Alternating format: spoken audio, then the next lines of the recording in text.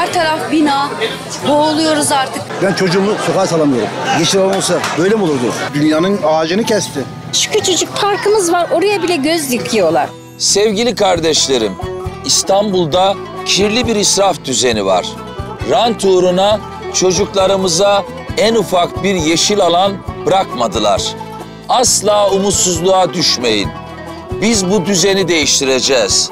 Çocuklarımızı betona mahkum olmaktan kurtaracağız.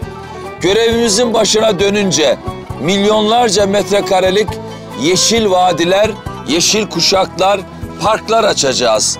İstanbul yemyeşil bir kent olacak. Her şey çok güzel olacak. Ekrem İmamoğlu. İmamoğlu varsa umut var.